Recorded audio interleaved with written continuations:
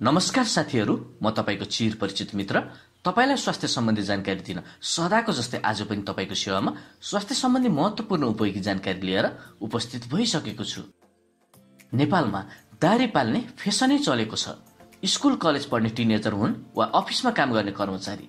धेरै जसो पुरुषहरूमा अचेल दारी पाल्ने क्रेज बढेको छ। त्यति मात्र कहाँ हो र? दारी पाल्नेको सङ्गठन समेत खुलेको छ। दारी ग्याङका नाममा। यदि तपाईँले हाम्रो च्यानल सब्सक्राइब गर्नुभयो यदि तपाईँले हाम्रो च्यानल सब्सक्राइब गर्नुभएको छैन भने स्वास्थ्य सम्बन्धी जानकारीका लागि आजै सब्सक्राइब गरिहाल्नुहोस् है। रहरमा पालिने दारीका स्वास्थ्य फाइदा पनि छन् भन्दा पत्यार नलाग्न सक्छ। हो हालै गरिएको एक अध्ययनले दारी पाल्दा धेरै प्राणघातक रोगहरूबाट मुक्त हुन सकिने तथ्य सार्वजनिक गरेको छ। दारी पाल्दा लाग्दैनन् यस्ता रोगहरू। थाहा पाउनुहोस्। नम्बर एक सूर्यबाट आउने परावैजनिक किरणलाई दारीले सिधै अनुहारमा पर्न नदिई रोक्छ। त्यस्तो हानिकारक किरणलाई छेक्ने भएकाले दारीले अनुहारको चमकमा क्षति हुन दिँदैन। नम्बर दुई यदि तपाईँलाई एलर्जीको समस्या छ भने पनि दारीले सहयोग गर्नेछ। यसले एलर्जेनलाई रोकेर एलर्जी हुन दिँदैन।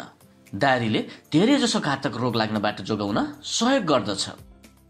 नम्बर तिन दारी पाल्नेहरू भन्दा जवान देखिन्छ। सूर्यको प्रत्यक्ष किरणबाट अनुहार जोगिने भएकाले कुनै दाग धब्बा र डन्डीफोरको समस्याबाट उनीहरू मुक्त हुन सक्दछन्।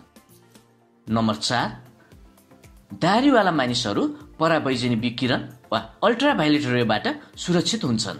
क्विन्सल्यान्ड विश्वविद्यालयमा हालै भएको एक अनुसन्धानका अनुसार दारीका कारण छालाको क्यान्सर हुने सम्भावना कम हुन्छ। नम्बर पाँच इभोल्युसन एन्ड ह्युमन बिहेभियर जर्नलमा प्रकाशित शोधकका अनुसार जुन पुरुषको दारी हुन्छ ती पुरुषतर्फ महिलाहरू अधिक आकर्षित हुन्छन्।